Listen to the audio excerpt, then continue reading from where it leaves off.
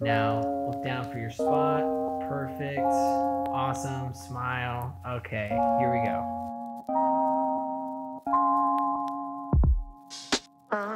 So, a sectional sofa is a sofa that comes in sections. It's not one solid piece of furniture, it is multiple sections that can be pieced together to configure the right piece for your space. What I love about sectional sofas is that they are modular. They're very versatile. They can work in any space. You can have a petite sectional in a small space. You can have an L-shaped sectional, a U-shaped sectional. You can have a chaise lounge on either side. They really lend themselves to a variety of spaces and a variety of uses.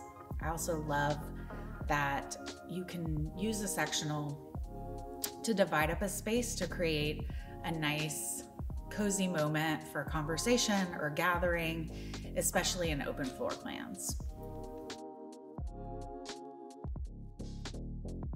So you really want to consider what you are going to use this space for. Are you going to be lounging on the sectional eating popcorn for movie night? Is this where you take your afternoon naps? Is this where you hang out with the kids? Do you gather around for conversation and cocktails when you're entertaining? That will help determine the right layout and size of your sofa. But also, you want to consider the fabric choices based on your lifestyle. If you have small children or dogs, performance fabrics are great. Also, leather is a great choice because it's easy to clean, you can wipe it down. So just keep in mind how you are going to use the space, but also your lifestyle. It's so hard when you're shopping online um, or don't have the benefit of you know space planning software to make sure that this piece is going to fit seamlessly in your space. So something that I suggest is that you tape it out with painter's tape in your space, kind of block it off so that you can really get a feel for what that piece of furniture is going to feel like in your space. Do you have enough room? Uh, the pathways to walk through? Will your coffee table be an appropriate size in the space? It just really helps you make that right decision uh, with the dimensions and the shape.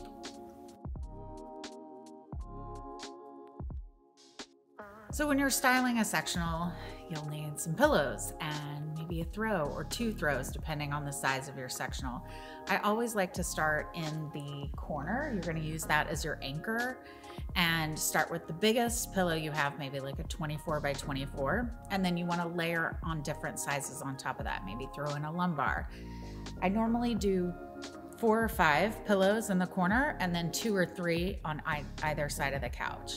And as far as the throws go, if you have a chaise lounge, maybe drape the throw over the chaise or you can casually toss it over the back of the sofa. I'm Bri. Thank you so much for watching. Please subscribe to Living Cozy and we'll see you in the next video.